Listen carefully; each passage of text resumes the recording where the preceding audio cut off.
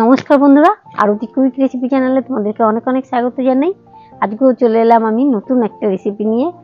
আজ মহাষষ্ঠী উপলক্ষে ছোলার ডালের রেসিপি করব।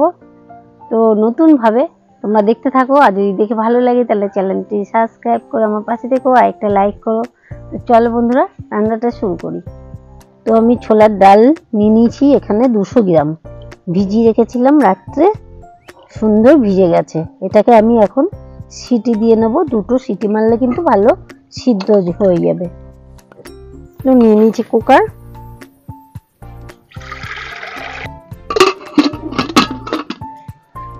উনুনটা ধরে নিয়ে কুকারটা বসিয়ে দিচ্ছি ডালগুলোকে সিদ্ধ করে নেওয়ার জন্য। তো এবার আমি কিছু গোটা মশলা নিয়ে নেব। নিয়ে নিচ্ছি দুটো শুকনো লঙ্কা।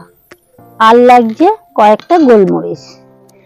আর লাগছে একটা দারচিনি, চারটে লবঙ্গ, চারটে এলাচ। হাফ চামচ মতন ধনে গোটা, হাফ চামচ গোটা জিরে।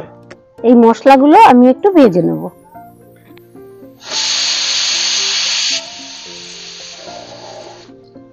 এবার কুকারটা নামিয়ে দিচ্ছি।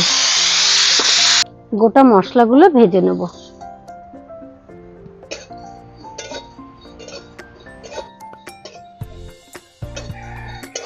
ভাজা হয়ে গেছে, এবার নাবি নেব।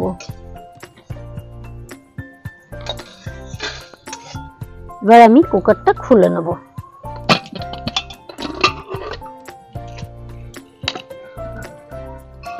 দেখো, দুটো সিটিতেই কি সুন্দর ডালগুলো গলে গেছে। সুন্দর গলে গেছে। কড়াইতে দিয়ে দেবো সর্ষের তেল। কিছুটা নারকল কুচি নিয়েছি, ছোট্ট ছোট্ট করে। নারকলগুলো ভেজে নেব।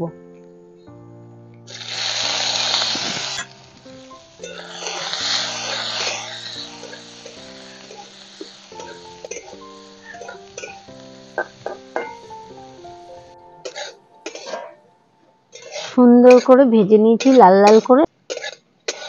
একটা পাত্রে নারকলগুলো তুলে নেব। ডালের জলগুলো একটু ঝরিয়ে নিতে হবে।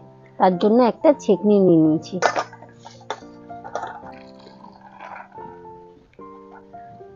তো ডালের জলটা কিন্তু ফেলব না। জলটা আমাদের রান্নায় লাগবে। কড়াইতে দিয়ে দেবো সর্ষের তেল। ফোড়নে দিয়ে দিচ্ছি একটা শুকনো লঙ্কা, একটা এলাচ, একটা দারচিনি। আর দুটো তেজপাতা। গোটা জিরে মশলাগুলো একটু ভেজে নেব। গোটা মশলাগুলো ভেজে নিয়েছি। সুন্দর একটা মিষ্টি গন্ধ ছেড়ে দিয়েছে। দিয়ে দেবো এক চামচ আদা বাটা, কয়েকটা কাঁচা লঙ্কা চেরা, হাফ চামচ জিরে গুঁড়ো, এক চামচ ধনে গুঁড়ো, হাফ চামচ কাশ্মীর লঙ্কা গুঁড়ো। ভালো করে মশলাগুলো কষিয়ে নিতে হবে।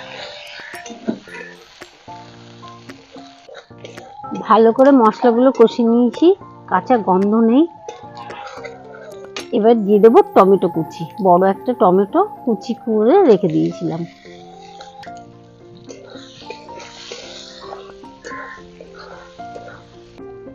স্বাদ মতন দেবো লবণ, হলুদ। সামান্য একটু দেবো জল, জলটা দিয়ে ভালো করে মশলাগুলো কষিয়ে নেব। টমেটোগুলো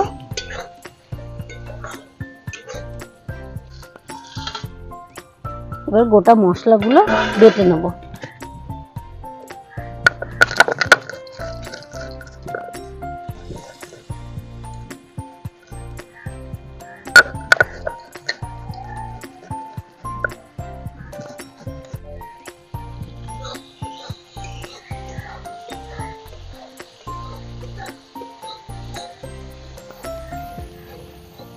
তো ভালো করে মশলাগুলো কষিয়ে নিয়েছি, টমেটোগুলো সুন্দর গলে গেছে। সিদ্ধ করা ছোলাগুলো দিয়ে দেবো।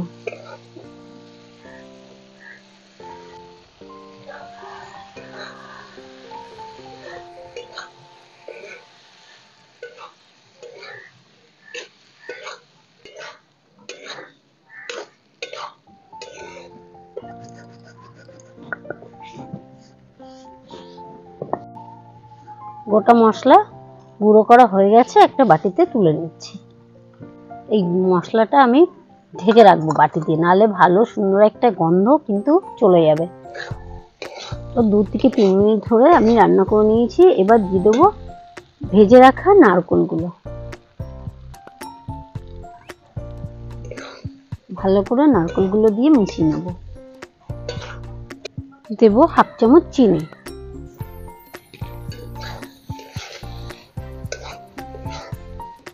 চিনিটা দিয়ে ভালো করে মিশিয়ে নেব। এবার দিয়ে দেবো সেই সিদ্ধ করা জলটা। আর একটু জল দেবো।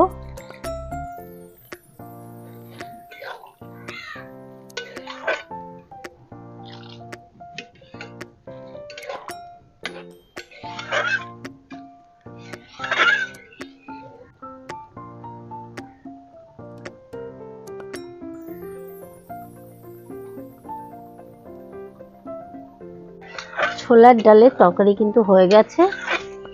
নামানোর আগে দিয়ে দেবো এক চামচ ঘি।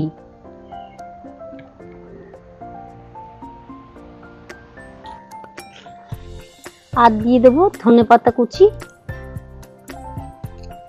এবার আমি নামিয়ে দেবো।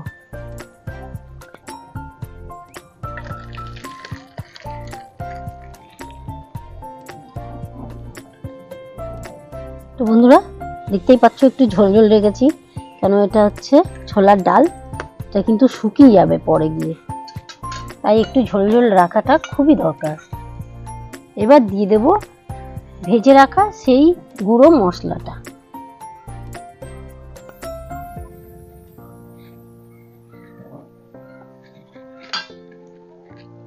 আর ভালো করে মিশিয়ে দেবো ডালগুলোর সঙ্গে।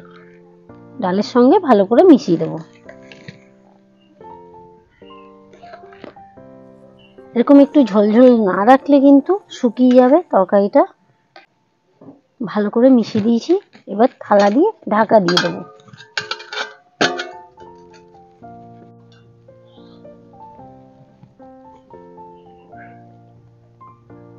দেখো বন্ধুরা, অনেকটাই কিন্তু ঝোলটা শুকিয়ে শুকিয়ে এসছে।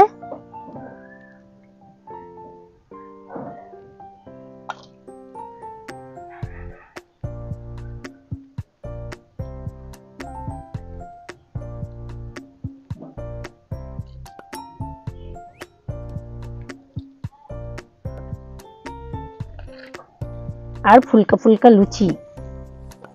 ছোলার ডাল, ফুলকা ফুলকা লুচি। খেতে কিন্তু খুবই ভালো লাগবে।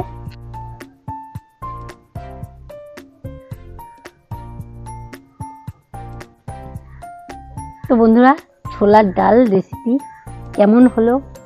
কমেন্ট করে জানাবে। আর তোমরা ভালো থাকবে, সুস্থ থাকবে। আবার দেখা হচ্ছে পরের ভিডিওতে। আসছি, টাটা।